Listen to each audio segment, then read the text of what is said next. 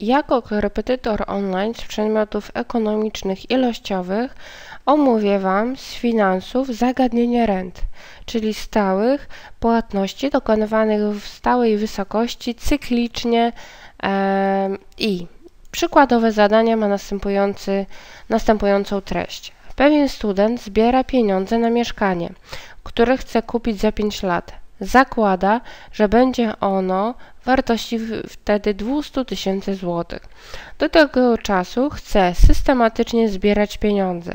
Zamierza wpłacać stałe kwoty płatne na koniec każdego półrocza przez całe 5 lat trwania tej zbiórki. Roczna stopa oprocentowania tego rachunku bankowego, wiadomo już po uwzględnieniu podatku dochodowego, e, wynosi 10% w skali roku. Oprocent, y, obowiązuje kapitalizacja półroczna. Ile musi każdorazowo wpłacać na rachunek oszczędnościowy, aby zebrać niezbędną kwotę, czyli 200 tysięcy złotych za 5 lat. Zaczynamy od tego, że no, powiedzmy czasem trzeba przeczytać zadanie przynajmniej dwukrotnie, żeby nabrać większej wprawy e, i zrozumieć, co jest od nas wymagane. Tutaj musimy wyłapać to, że e, tym zadaniu na renty u nas do ustalenia jest wysokość tej renty, czyli inaczej mówiąc, ile co pół roku musi nasz student wpłacać do banku, żeby po pięciu latach otrzymać 200 tysięcy złotych. Zaczynamy od tego, że wymieniona została kapitalizacja półroczna. Co to nam daje?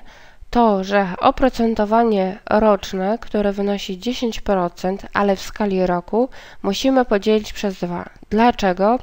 Bo wszystko musimy e, podłożyć pod kapitalizację. Jeżeli ona następuje, czyli to naliczanie odsetek następuje co pół roku, to również stopa roczna musi zostać przeliczona na półrocza.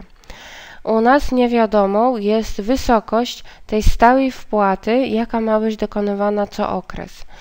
E, kolejnym elementem jest FVA, czyli przyszła wartość tego kapitału, który chcemy zebrać po okresie 5 lat. Teraz, jeżeli ja wiem, że w pierwszym momencie nasz okres e, trwania e, tej zbiórki to 5 lat, ja muszę to dostosować do częstotliwości kapitalizacji.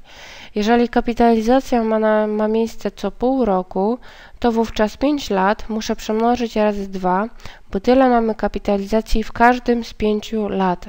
A więc mogę powiedzieć, że mamy w tym zadaniu 10 półroczy, które składa się na 5 lat trwania tej zbiórki.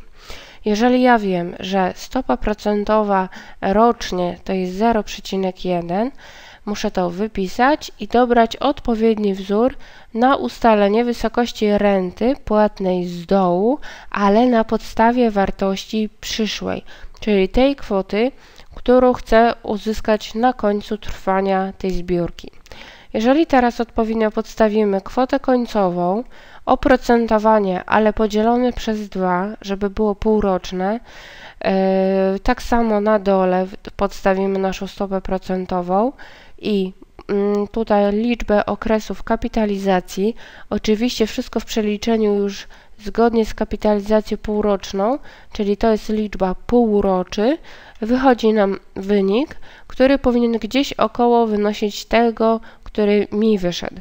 Jeżeli Wam wyjdzie wynik zbliżony, e, to nic się nie martwcie, nie musi być perfekcyjnie dokładnie ten sam. Zostaje nam tylko napisanie interpretacji. Mogłaby ona przykładowo brzmieć Płatność stała e, powinna być w, w wysokości 15 900 zł i 92 groszy.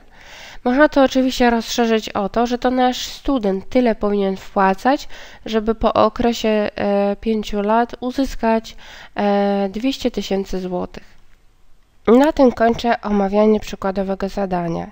Jeśli to omówienie jest dla Was niewystarczające lub macie własną listę swoich zadań e, do opanowania, to zapraszam do nadsyłania maili wraz z załącznikami na adres mailowy zadania myślnik projekty małpawp.pl. Gdy będę miała taką możliwość, to na pewno odpiszę.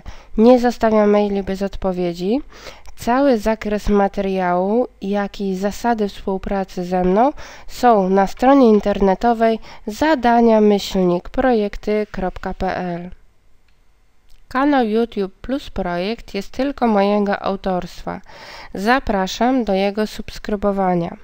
Takie dodanie do listy subskrybowanych kanałów pozwoli innym studentom dowiedzieć się o jego istnieniu i możliwości korzystania z jego zasobów. Dla mnie osobiście będzie to dobra wiadomość, że filmy przeze mnie przygotowane uznajecie generalnie za przydatne i powinnam nagrywać kolejne. A pomysłów na kolejne filmy mam jeszcze wiele. Filmy możecie naturalnie oceniać. Oczywiście możecie również krytykować filmy, jeśli jest y, taka potrzeba. Możecie zadawać również konkretne pytania dotyczące odtworzonego materiału. Mile widziane są również krótkie komentarze, czy dany film się po prostu Wam podobał, czy też nie. Na pewno chętnie zapoznam się z Waszymi uwagami, gdy tylko będę miała możliwość, na nie odpowiem. Zapraszam do udostępniania konkretnych filmów znajomym, czy to na maila, czy to na forum studenckie. Tu jest możliwość czy kopiowania e, adresu filmu, czy bieżącego fragmentu, czy kodu do umieszczania na stronie. Wówczas Wasi znajomi będą mieli większe szanse na sprawne nadrobienie zaległości w danym zakresie po odsłuchaniu moich wskazówek co do sposobu rozwiązywania zadania. To nie musi być trudne, ktoś po prostu to musi prościej omówić. Pamiętajcie, że moje filmy mają charakter poglądowy. Wyjaśniam na nich konkretne zagadnienia z przedmiotów ilościowych. Dla Was najważniejsze pozostają notatki z ćwiczeń i z wykładów z Waszej uczelni. To wiedza ćwiczeniowców i wykładowców pozwoli Wam zdać najpierw kolokwium, a potem egzamin.